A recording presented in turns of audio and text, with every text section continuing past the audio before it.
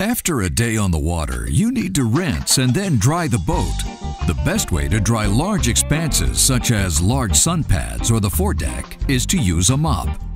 The best mop for this job is Star Brite's new Reggae Mop. The wide microfiber strips are made of the same super absorbent material as the Reggae Mitt, Reggae Pad, and Reggae Sponge, so it absorbs water without scratching fiberglass or polished metal surfaces. It is also ideal for traditional mopping and boat wash chores too. Star Brite's new versatile multi-purpose Reggae Mop, part of the Reggae family of boat care solutions from Star Brite. Visit starbrite.com for more information and find us on Facebook.